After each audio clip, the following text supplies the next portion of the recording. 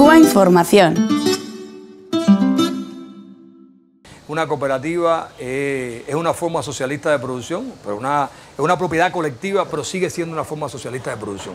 Aquí los dueños son los socios, locales del Estado, y en el caso nuestro todos los socios de la cooperativa, los trabajadores, pues somos dueños de nuestros recursos, somos dueños del destino, dueños de la, de la producción, dueños de los medios.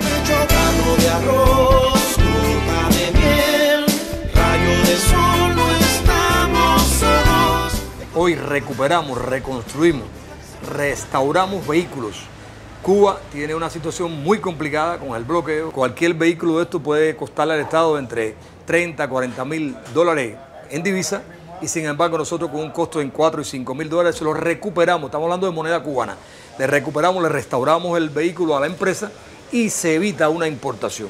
La cooperativa se dedica a la confección de vestuario, principalmente eh, la confección, la tradición cubana que es la guayabera. Sí, básicamente lo que hacemos es decir todo lo que tiene que ver con la contabilidad, es decir, desde, la, desde llevar la contabilidad como tal hasta los diferentes procesos, decir, que verifican en los, diferentes subsistemas. Estamos hablando de depuración de cuentas, estamos hablando de, de inventarios, tanto de mercancía como de activos, estamos hablando del tema costo. Empezamos 48 socios y actualmente tenemos 135 socios. Empezamos con este taller base y hoy tenemos dos talleres más grandes de reconstrucción de ómnibus. Hoy somos 41 socios. De ellos la mayoría somos mujeres, somos 37 mujeres. Somos ya alrededor de 200 socios. No todos radicamos aquí en la oficina central, la mayoría están en los propios establecimientos del cliente.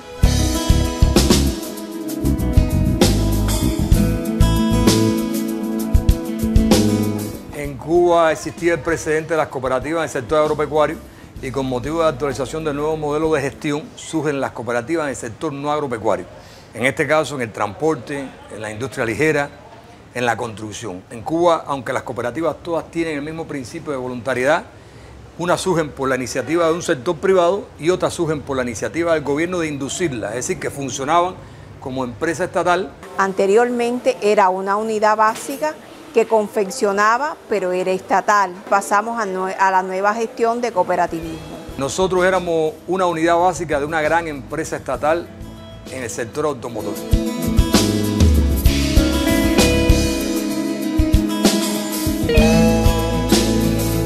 A diferencia de una empresa privada que la manejan dueños, accionistas, gerentes, y a diferencia de una empresa estatal que la maneja eh, pues consejos de dirección por personal designado. Senio más que un centro de trabajo es un proyecto de vida en el que todos estamos involucrados desde la noche al día, desde lo privado hasta lo colectivo, desde lo laboral hasta lo no laboral.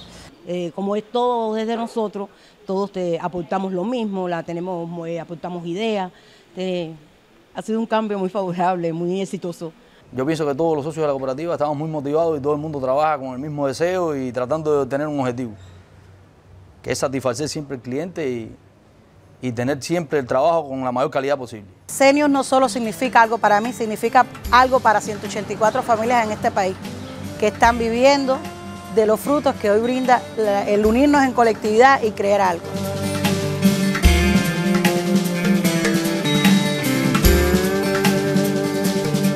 aunque sigue siendo socialista, eh, todo, la propiedad sobre los medios de producción, todo el, sistema de trabajo, nosotros no, recibimos salario, nosotros lo que recibimos es un anticipo que se nos va dando eh, mes por mes hasta cobrar las utilidades, que es en dependencia de todos los bienes que se generen en el transcurso del año con el trabajo de nosotros mismos. Es decir, que se, pierde el concepto de asalariado por libre asociado se pierde el concepto de, dirigidos por autogestionados. Empezamos facturando en enero del año 2015 100 mil pesos moneda nacional y, actualmente estamos facturando 3 eh, millones mensualmente. El impacto económico nuestro este año está en el orden de los 3 millones de dólares aproximadamente, eh, con toda la cantidad de equipos restaurados al sector de la comunicación, en este caso de Texas. Un cambio muy, muy favorable, muy favorable para todos porque económicamente estamos ganando un poquito más. Los ingresos de estos trabajadores son muy, muy favorables, además de los beneficios que tienen dentro de la cooperativa. Aquí ha habido casos de, socios de la cooperativa que han tenido problemas con la vivienda y a través del fondo mutualista, que es un fondo que usa la cooperativa, se le ha ayudado. Nosotros desde que comenzamos fue con un sueño, porque no existía ni el nivel de ingresos que existe en estos momentos, ni las condiciones materiales para ello. Era un sueño al que nos arriesgamos y en el que creímos de tres soñadores que decidieron que esto podía ser eh, beneficioso.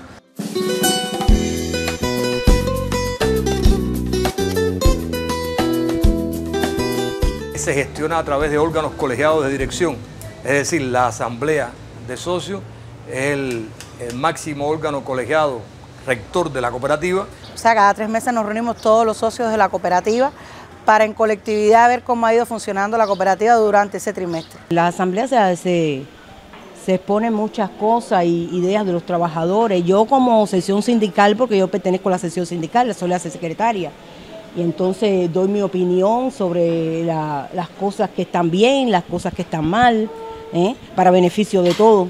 También existe una junta directiva que es la que funciona entre asamblea y asamblea para dar cumplimiento a los acuerdos establecidos dentro de la asamblea y la asamblea es la que decide quién se incorpora como socio de la cooperativa.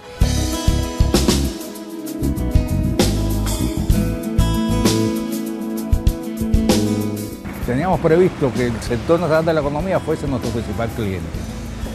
Es decir, temíamos que el Estado no, es decir, no asimilara con prontitud este tipo de servicios. Sin embargo, ha sido la inversa. Hoy el 100% de nuestros clientes, si lo constituyen empresas del sector estatal.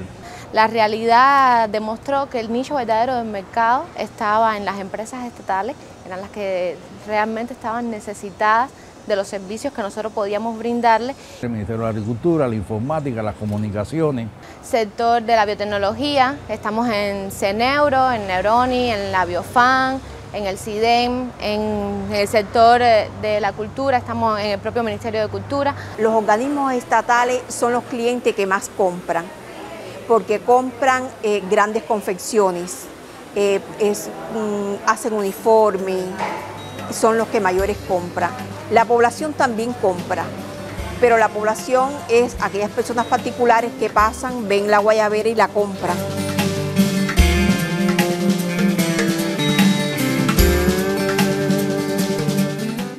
Problema fundamental del sector no estatal de la economía hoy, en el caso de las cooperativas, radica en la formación.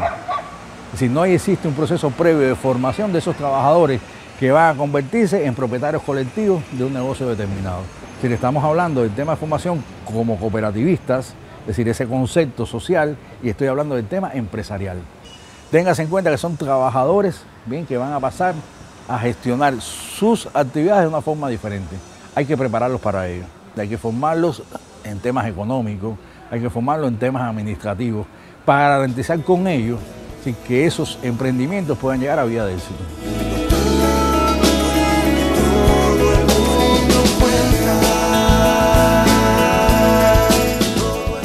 Esa estrategia evidentemente existe, además es una estrategia pública. Es decir, queremos empoderar a un sector determinado para propiciar con ello un cambio eh, político en el país, un cambio social y político. Hay que tener en cuenta también cuál es el pensar, el criterio, es decir, de los cubanos que hoy estamos llevando adelante este proceso. Bien, nuestro pensar no va en esa dirección. Y pienso que se debe tener decir, más confianza en este nuevo sector. Nosotros somos los mismos que llevamos 50 años en Cuba, decir, acompañando este proceso. Nosotros pensamos incluso que en un contexto de, apertura de las relaciones con Estados Unidos, el sector cooperativo, si por su carácter social, ¿te das cuenta? puede ser una herramienta que puede favorecer de una manera sana este proceso.